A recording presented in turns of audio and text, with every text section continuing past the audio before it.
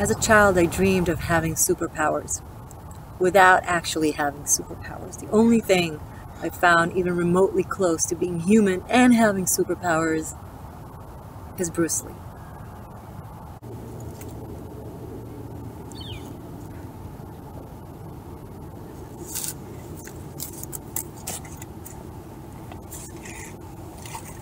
Hi Seekers, welcome back to the Existential Shift. Morgaine, um, you are with me, a very special place for me, anyway, for many people actually, this is the gravestone of legendary Bruce Lee, founder of Jeet Kune Do, um, and a legend on its own.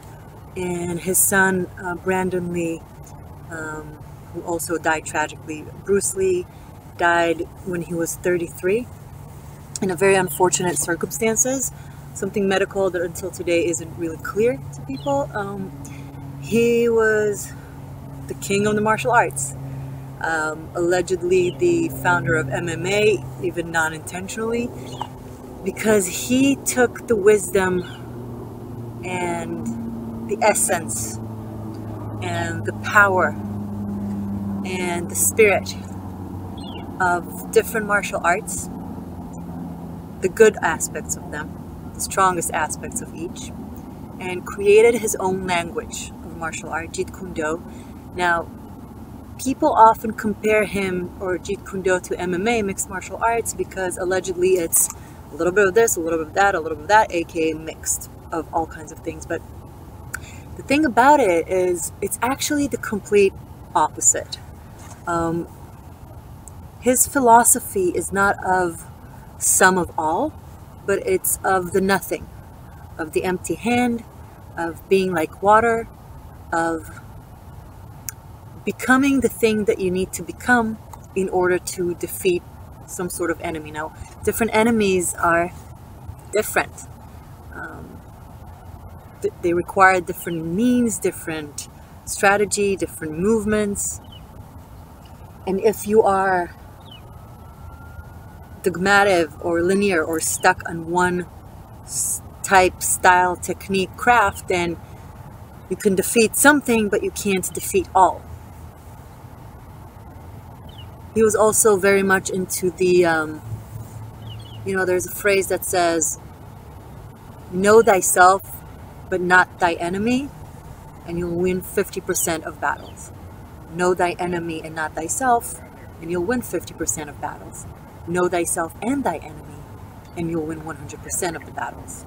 Now, the thing about knowing is that it is a variable.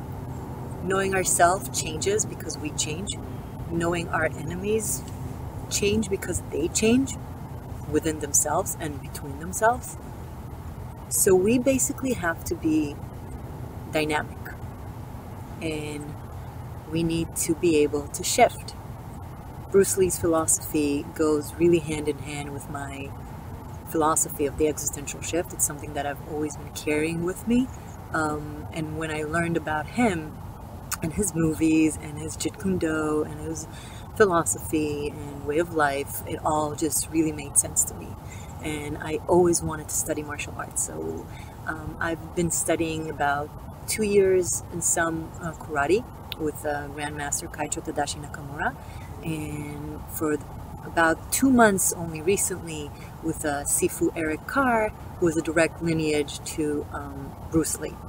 And all of that is just a great honor to be able to be even a small part of that knowledge and of those crafts. Now, I am not a master or an expert. I'm still on my journey, but the spirit of it, the philosophy of it, is something that I've been carrying forever, and I will continue carrying. Now, I've been wearing all blacks uh, today in honors of Bruce because he used to wear all black. Um, I'm a martial artist. I'm also an actress. Bruce Lee, as you know, was an actor. I don't know, I guess his powerful essence that is also so soft and flexible. I find it magical and ideal as a way of living because You can go anywhere, you can be anything, you are truly free. Um, Bruce Lee was so dedicated to his craft, but he was also truly free. He was a complete expression of himself. Even when he was he himself was changing. He was constantly a complete expression of himself. And that's real freedom. That's real liberation. Um, even when you change, to allow yourself to change it to be just that, right? Harm none. And other than that, just be.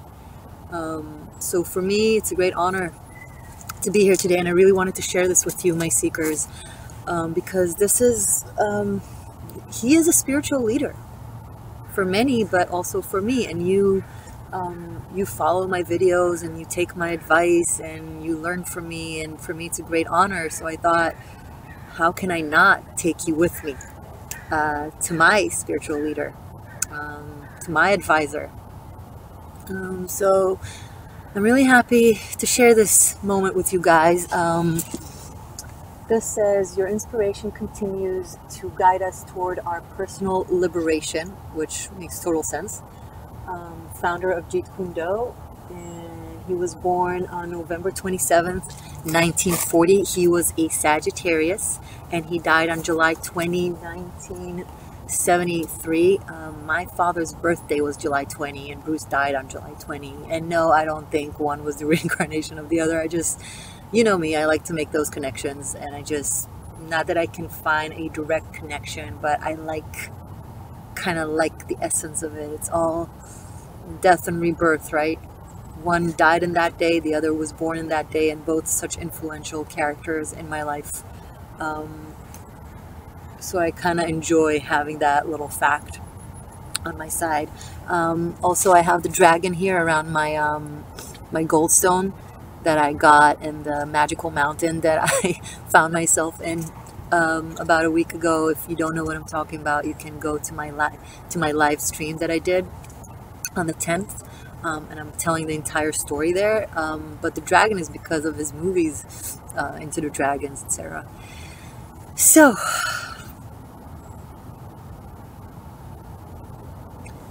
I would like for us, and I and I didn't plan this, to take a moment of meditation to kind of soak in the energy of Bruce Lee, the energy of be water, my friend, the energy of know thyself and know thy enemy, the energy of shape shifting, of the existential shift. Um, and it doesn't have to make sense, and you don't have to understand how it will affect you. Um, in this next few weeks, next few days, whatever. But just let it kind of soak in and allow it to help you or come out in the moment that you'll need it most. Because I would like to harness the energy that exists here, the energy of the essence of Bruce Lee, the essence of Jeet Kune Do, the essence of martial arts, the, es- the essence of freedom, liberation, self expression, and of existentialism and shape shifting. Um, I like to, I'm asking to harness all this energy right now. In a moment of honor to all these things and to Bruce and his son Brandon. To have it in me and therefore have it in you.